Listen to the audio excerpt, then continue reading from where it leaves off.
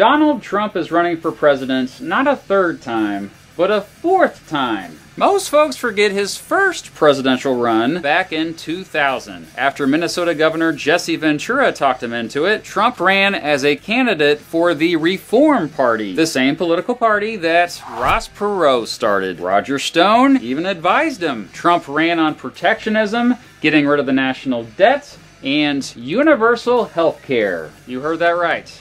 Trump wanted universal health care. He talked of Oprah Winfrey as his ideal running mate, and even said he'd marry his girlfriend Melania so that she could be First Lady. Ultimately, though, Trump dropped out of the race after he became disillusioned with the Reform Party. Meh, in reality, he probably wouldn't have won the election anyway. In the following years, he became a household name, though, as the host of and executive producer of the reality TV show The Apprentice. You're all fired. All four are fired.